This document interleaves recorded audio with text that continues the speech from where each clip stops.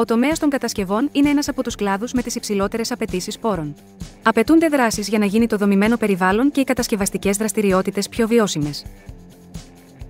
Ο κατασκευαστικός κλάδος είναι ένας από τους μεγαλύτερους εκμεταλλευτές ανανεώσιμων και μη ανανεώσιμων φυσικών πόρων.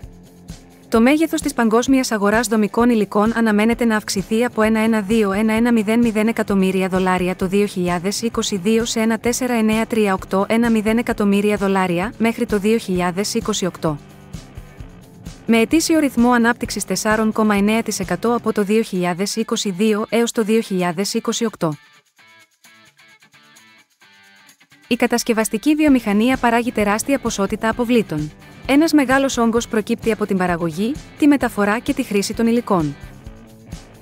Στην Ευρωπαϊκή Ένωση, η κατασκευαστική βιομηχανία συνεισφέρει περίπου 40-50 των αποβλήτων ετησίως. Εκτός από την παραγωγή αποβλήτων, οι κατασκευές αυξάνει ραγδαία την παγκόσμια κατανάλωση ενέργειας, ιδίως τη χρήση των πεπερασμένων πόρων ορυκτών καυσίμων.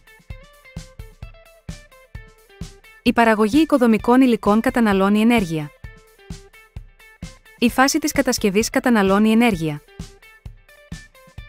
Και η λειτουργία ενός κτηρίου καταναλώνει ενέργεια για θέρμανση, φωτισμό, ηλεκτρική ενέργεια και εξαερισμό.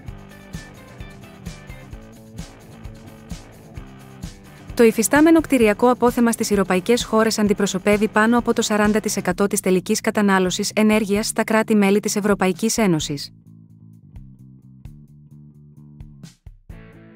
Η οικιακή χρήση αντιπροσωπεύει το 63% της συνολικής κατανάλωσης ενέργειας στον κτηριακό τομέα. Στόχος της κυκλικής κατασκευής είναι η δημιουργία μιας βιώσιμης, πράσινης, κυκλικής και οικονομικής κατασκευαστικής βιομηχανίας που θα ελαχιστοποιεί τις επιπτώσεις στο περιβάλλον.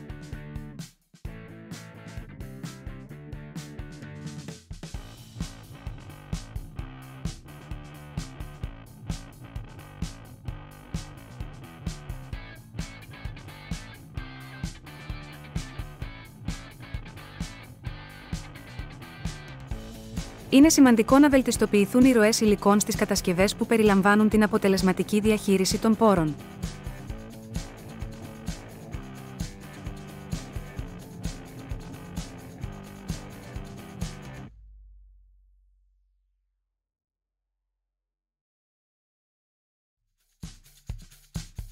Όπως η ανάκτηση, η ανακύκλωση αποβλήτων, η χρήση ανακυκλωμένων υλικών και η επαναχρησιμοποίηση υφιστάμενων κτηρίων και στοιχείων.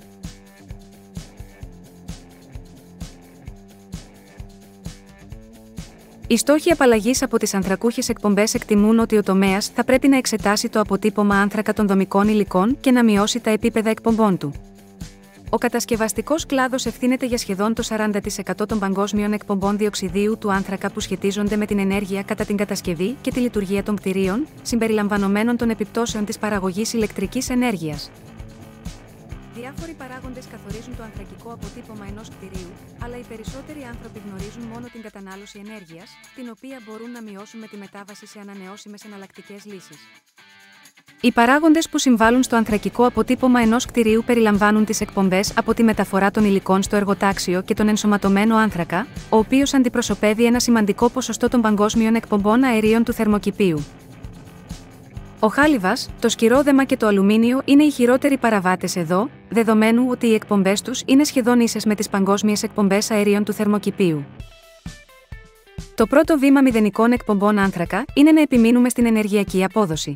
Οι κάτοικοι καταναλώνουν πολλή ενέργεια με τον οικιακό εξοπλισμό και τον εξοπλισμό γραφείου τους.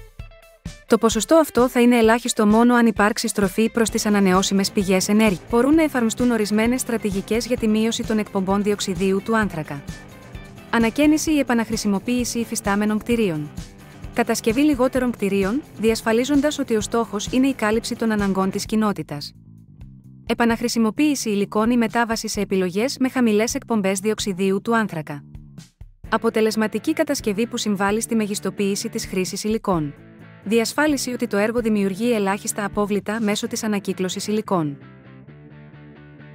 Η ενσωματωμένη ενέργεια είναι ένας υπολογισμός όλης της ενέργειας που χρησιμοποιείται για την παραγωγή ενός υλικού ή προϊόντος, συμπεριλαμβανομένης της εξόριξης, της κατασκευής και της μεταφοράς.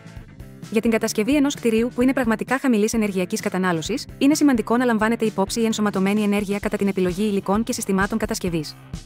Διαφορετικοί τύποι υλικών και συστημάτων κατασκευής έχουν πολύ διαφορετικά επίπεδα ενσωματωμένης ενέργειας. Δεν είναι μόνο θέμα επιλογής υλικών με χαμηλή ενσωματωμένη ενέργεια. Ένα κτηρίο κατασκευασμένο με υλικά χαμηλής ενσωματωμένης ενέργειας μπορεί να απαιτεί περισσότερη λειτουργική ενέργεια, όπως θέρμανση και ψήξη. Η συνολική ενσωματωμένη ενέργεια ενός κτηρίου είναι η συνολική ενέργεια που απαιτείται για την παραγωγή όλων των υλικών που χρησιμοποιούνται στην αρχική κατασκευή, την παραγωγή όλων των υλικών που χρησιμοποιούνται στις επισκευές ή τις ανακαινήσεις κατά τη διάρκεια της ζωής του κτηρίου, τη μεταφορά των υλικών στον τόπο κατασκευής και την ενέργεια που χρησιμοποιείται στο χώρο του κτηρίου κατά τη διάρκεια της κατασκευής, των επισκευών ή των ανακαινήσεων.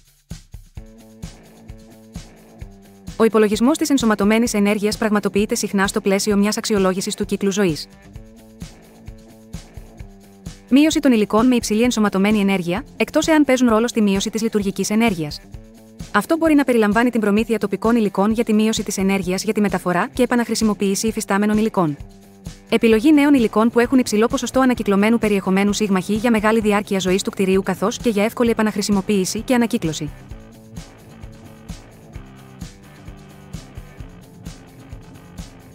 Η ενσωματωμένη ενέργεια είναι ένα σημαντικό περιβαλλοντικό ζήτημα και συνδέεται με το φάσμα των περιβαλλοντικών επιπτώσεων για την κατασκευή κτηρίων.